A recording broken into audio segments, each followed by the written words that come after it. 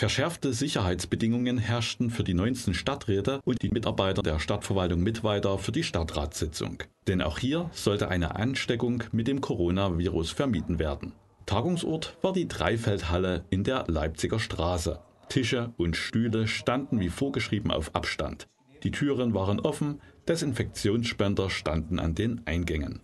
In seinem Informationsblog zur Pandemie bestätigte Oberbürgermeister Schreiber den ersten Corona-Fall in Mittweida. Weitere Informationen zu Person und Aufenthaltsort gab er nicht, um deren Persönlichkeitsrechte zu wahren. Weiterhin beschlossen die Räte einstimmig die Vergabe von Bauleistungen zur Sanierung Kirchplatz Mittweida und mehrheitlich zur Straßenerneuerung der Leipziger Straße.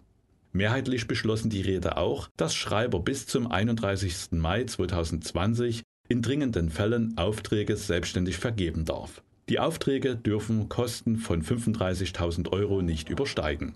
Der Oberbürgermeister versprach, davon möglichst wenig Gebrauch zu machen. Außerdem sollen Absprachen mit den Räten digital mittels Videokonferenz erfolgen.